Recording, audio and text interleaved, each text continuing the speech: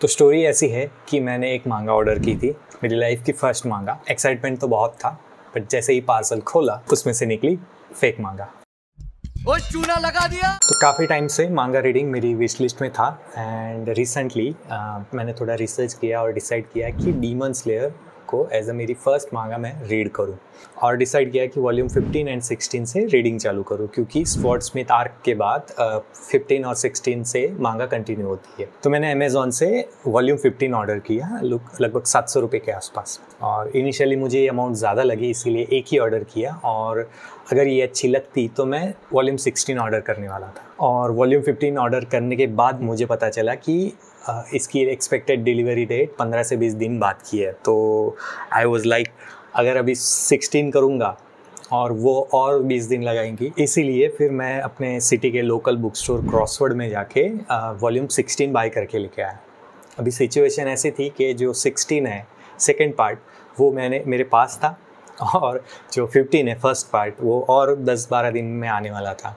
And I was so excited I was waiting for part 15 but जब parcel आया और मैंने देखा कि ये पूरे पूरी फेक मांगा है। तो वीडियो बनाने का गोल इतना ही है कि अगर हम ओरिजिनल कॉपी के पैसे दे रहे हैं राइट तो मेक श्योर sure कि हमको राइट प्रोडक्ट मिले। और इसके लिए कुछ चीज़ों का ध्यान रखना पड़ता है। तो यहाँ पे है हमारे पास दो मांगा।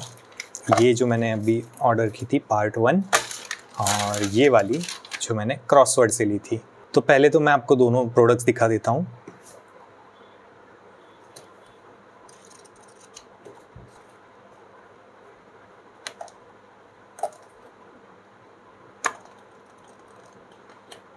दोनों में ज़्यादा डिफरेंस नहीं है बट अगर आप ओरिजिनल कॉपीज़ प्रेफर करते हो तो मेक श्योर sure कि आपको राइट प्रोडक्ट्स मिले।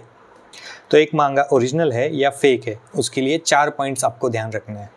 तो जो पहला पॉइंट है, वो है स्टिकर तो जो ओरिजिनल मांगा रहेगी, उस पर एक स्टिकर होगा. इसका मीनिंग है कि ये ओरिजिनल पब्लिशर की मांगा है, ठीक है? और जो फेक वन रहेगी, उसमें आप देखोगे देर इज़ नो स्टिकर पूरा ब्लैंक एक भी स्टिकर नहीं. ये सबसे मेजर डिफरेंस है.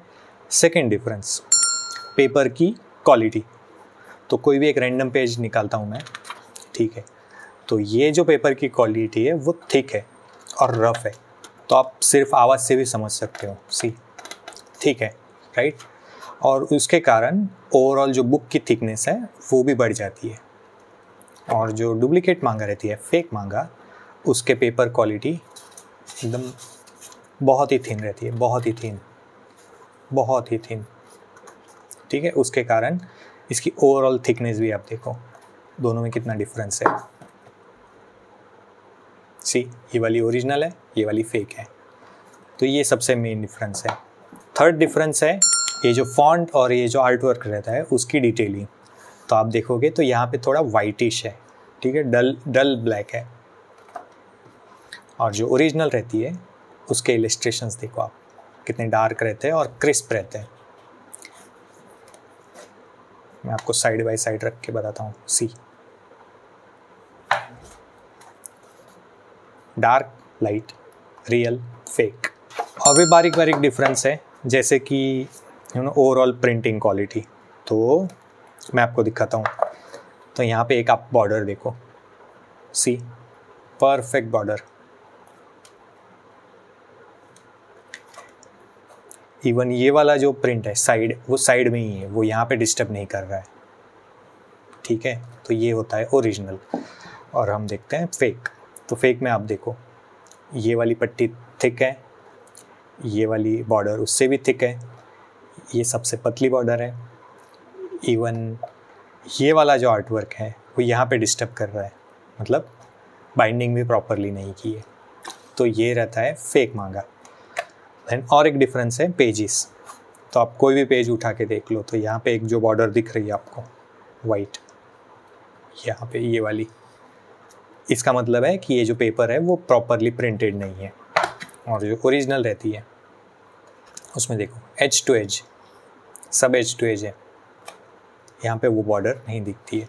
अगर आप ओरिजिनल मांगा देखोगे तो इसकी बॉर्डर ऐसे कुछ दिखेगी, थोड़ी ब्लैक क्योंकि ये इंक इंक होती है। सो इंक से प्रिंट होता है राइट तो वो इंक होती है और ये वाला जो होता है, वो जेरोक्स कॉपी रहती है।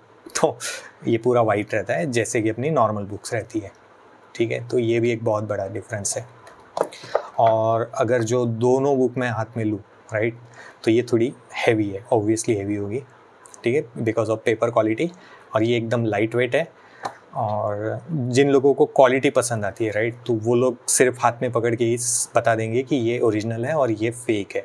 तो एनीवेज मैंने रिटर्न की प्रोसेस स्टार्ट कर दी है। लेट्स सी कितने दिनों में होता है। और आई नो कि ये अमेज़ोन का फॉल्ट नहीं है but still it was my first manga and because I was so so excited but एक अच्छी बात यह है कि एक ख़राब ऑर्डर से मेरे रीडिंग का एक्साइटमेंट लेवल कम नहीं होगा।